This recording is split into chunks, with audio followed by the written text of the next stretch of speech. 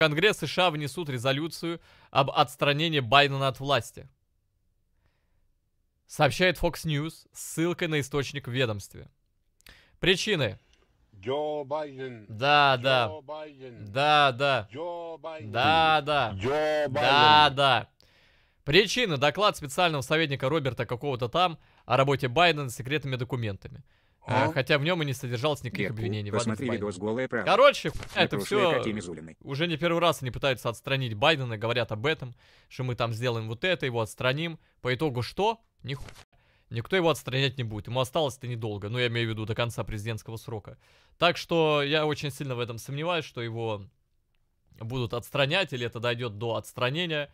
Пока это все сделают, пока примут и так далее, уже выборы начнутся, а там, соответственно, Байден проиграет просто уже на выборах. Так что, да, да, такие вот пироги. Дальше, что у нас еще?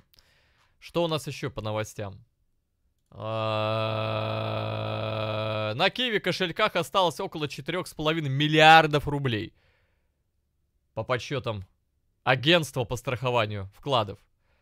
Порядка 277 а, миллионов рублей находится на анонимных кошельках с лимитом до 15 тысяч рублей. Среди этих миллионов есть, возможно, ваши копейки.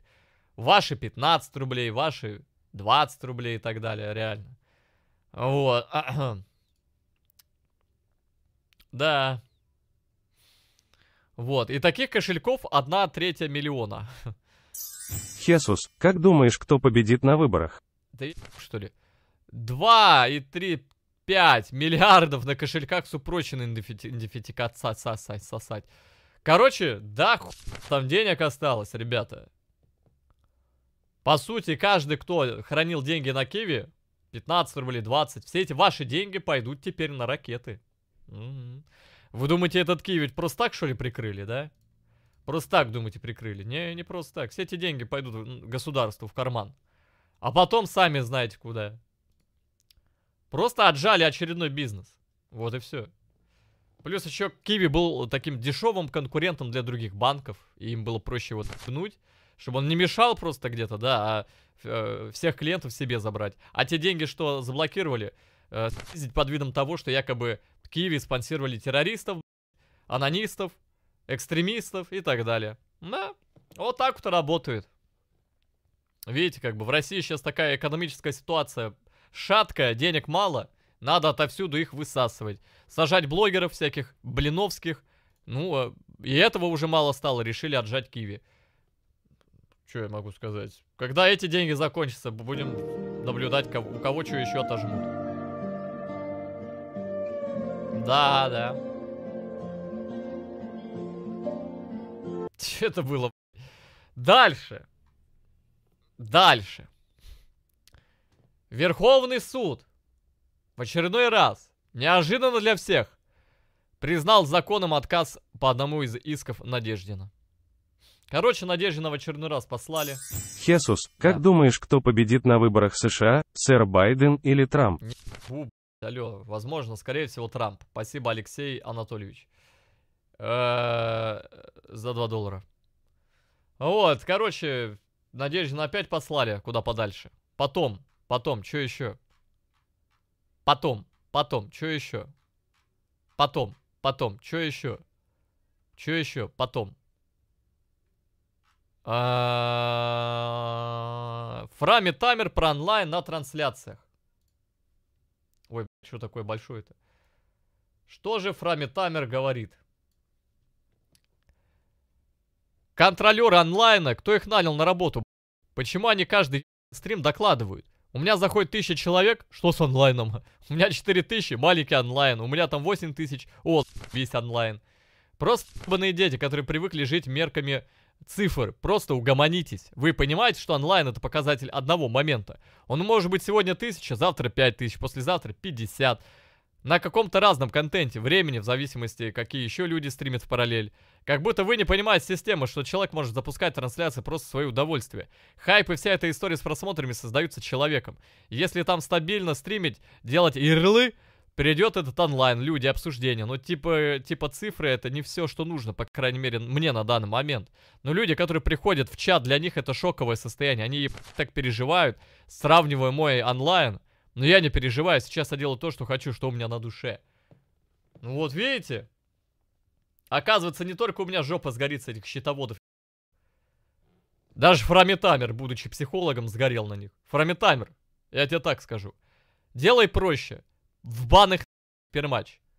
У меня такие отлетают туда-сюда просто, один за другим. Реально. Сейчас, ребят, неожиданная новость. Вы готовы? Нас всех развели.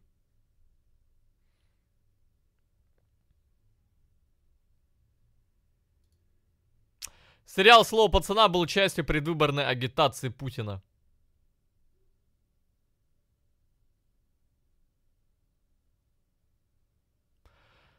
Весной прошлого года в администрации президента РФ в Москве встретились начальники управлений, федеральные чиновники и политтехнологи, чтобы обсудить предвыборную кампанию Путина, сообщает какой-то портал. На встрече обсуждались десятки фильмов и сериалов, которые использовались как предвыборная агитация или пропаганда. Например, сериал «Слово пацана» показывает избирателям свидетельство качественных изменений жизни в России как устойчивого тренда.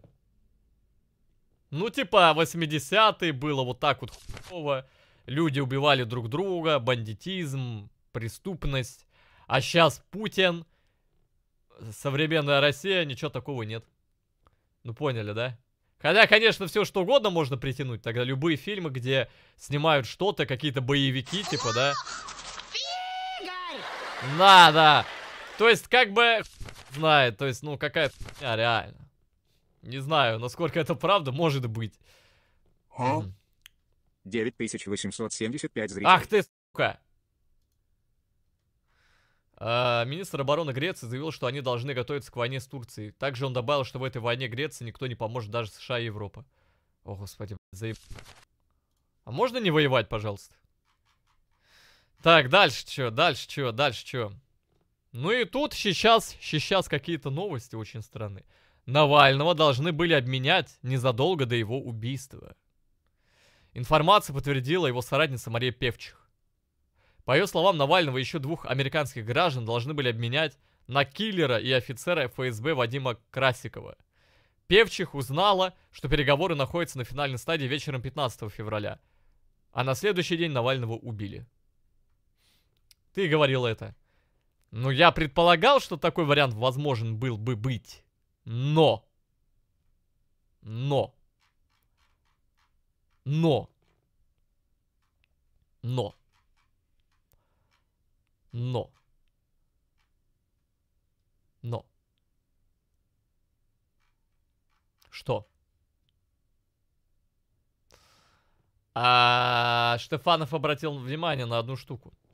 За месяц до убийства Навальный писал, что вернулся в Россию из-за своих убеждений. Внимание на это обратил историк, историк Александр Штефанов.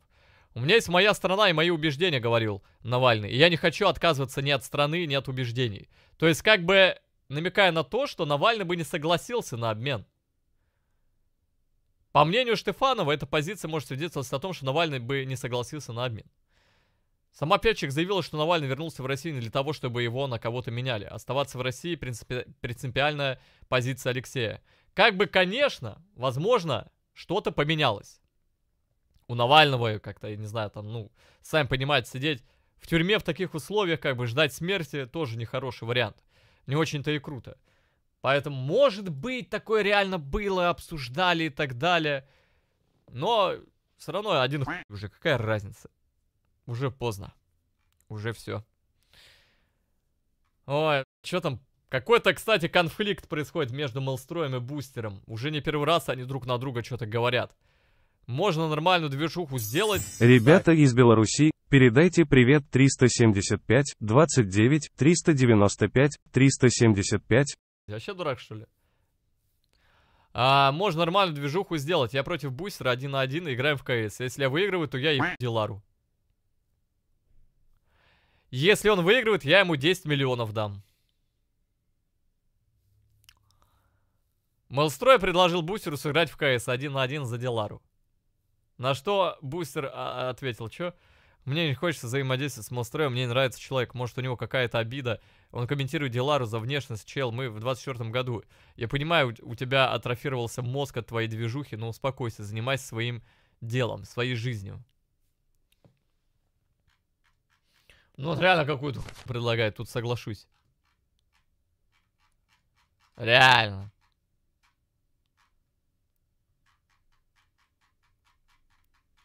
Че за бред? Ива- Что ли совсем? Алло. Ой, что это такое? ЕС... А, о, а, охуенная новость, ребят. ЕС заплатил России за покупку нефти и газа в 22 году больше, чем выделил денег Украине за два года конфликта. Нормально? Так. Владимир Зеленский подписал закон о демобилизации украинских срочников, который распространяется на военных, находящихся в армии с момента начала СВО. О как. OnlyFans самая прибыльная подработка в США. Опа. Об этом сообщила служба налоговых деклараций.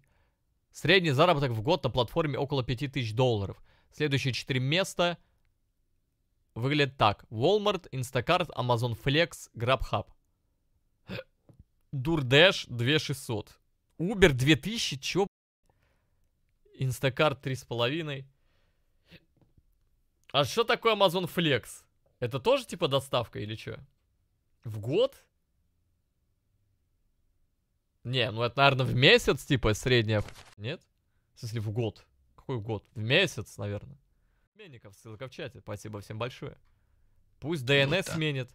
У меня тоже с Твичем была проблема. Братан, DNS смени какой-то. Решил попробовать, Алексей Шип... Ебать, это что за хуйта? Это телефон реально такой огромный? Или это просто в руках Шевцова он выглядит таким большим? Дец, ебаная лопата квадратный, ужас. Это телефон, серьезно? Б... По размеру как монитор, ты посмотри. Я не понял, что это ракурс какой-то странный. Как будто Шевцов или гигант. У него такая рука, типа, огромная, знаете, как монитор блядь, размером. Типа, здоровая ручища такая. блядь. И он держит в руке здоровый планшет.